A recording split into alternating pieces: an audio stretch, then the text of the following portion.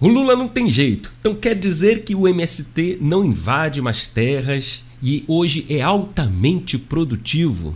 Vamos acompanhar. Olha, esses dias eu vi o ministro da Agricultura, o companheiro Fávaro, dizer uma coisa. Ele dizia que os, o agronegócio não deveria ter medo das ocupações do sem terra. Porque quem está tomando terra deles hoje são os bancos que compram o título da dívida agrária deles. E o banco, quando compra o título, é imperdoável. Ele vai em cima, e vai em cima e recebe ou toma terra. Ora, faz tempo que sem terra não invade terra nesse país. Faz muito tempo. Faz muito tempo que os sem terra fizeram uma opção, sabe, de se transformar em pequenos produtores altamente produtivos, inclusive é o maior produtor de arroz orgânico do, da América Latina, sabe, e colocar alimento saudável na mesa do povo trabalhador. Esse é o trabalho do Sem Terra, organizado em centenas de cooperativas pelo país, sabe, que estão produzindo de forma extraordinariamente. Bom, bom, calma aí. Tem alguma coisa aí que está errada. Se não invade mais terras e é altamente produtivo, está produzindo na terra de quem? Nas terras que já roubaram e agora são donos? Não, porque se for assim, tá, o MST tem que mudar de nome, tá na hora. Agora tira o MST e põe o MCT, Movimento com Terra. Já tem terra. Não é uma nova história, uma nova realidade, outra coisa, o, o Lula. O MST, Movimento com Terra. Agora, que história é essa de que Faz tempo que o MST não invade terras. O que é muito tempo para o Lula? É, um mês? Dois meses? Porque tivemos aí o Abril Vermelho. A notícia aqui, do dia 16 de abril, MST invade 24 propriedades em 11 estados, mesmo com anúncio de programa do governo, do tal Terra da Gente. E eles deram tempo, vão voltar com as invasões. E parece que o Lula está entendendo que é coisa errada, né? Ó, faz tempo que não invadem, ou seja, agora mudaram, estão fazendo a coisa certa, deixaram de fazer a coisa errada. Vão voltar, vão continuar com as invasões. Se acabar as invasões, o MST acaba.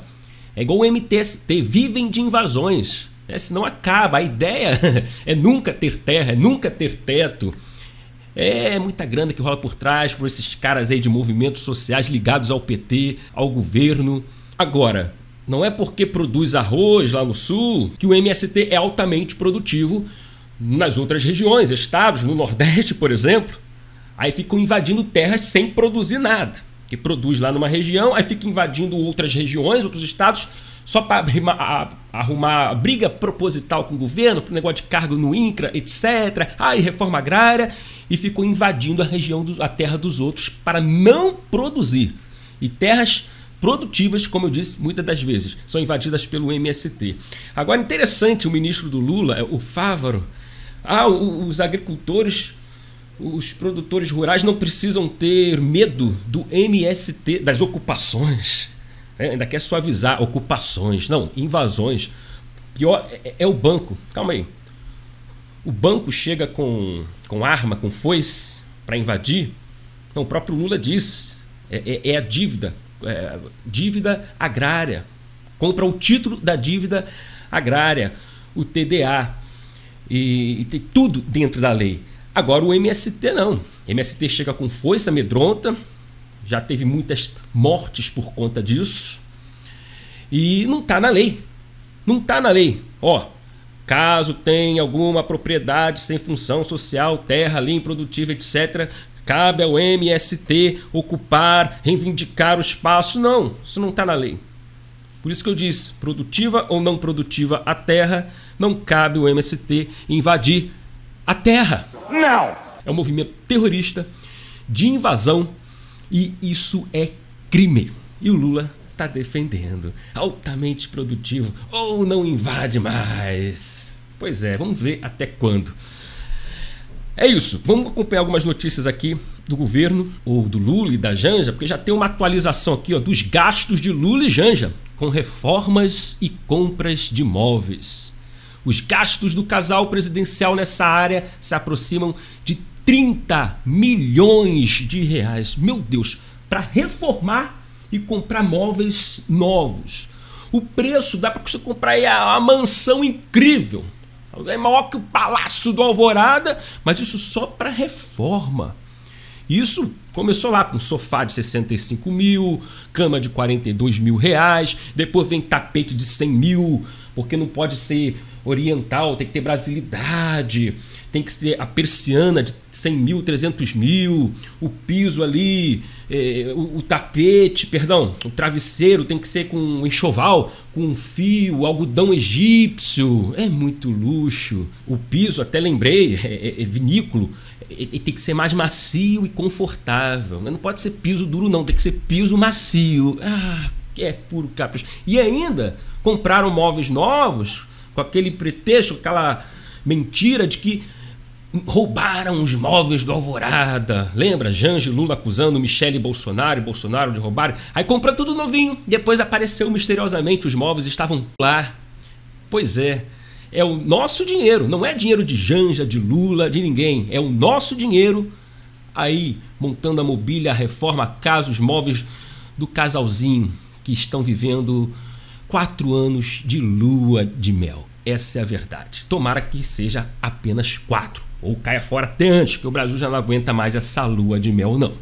E para encerrar o vídeo, Arthur Lira disse o seguinte: se não pudermos discutir o que está no STF, não sei para que serve Congresso.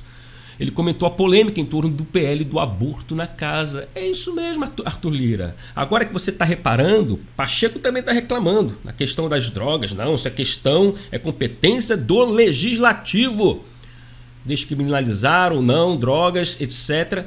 Perderam. Esse é o Brasil. Eu já falei aqui no meu canal. Para que votar? Para que urna? Para que eleição para escolher um representante se o representante não pode me representar, nos representar nessas questões tão polêmicas?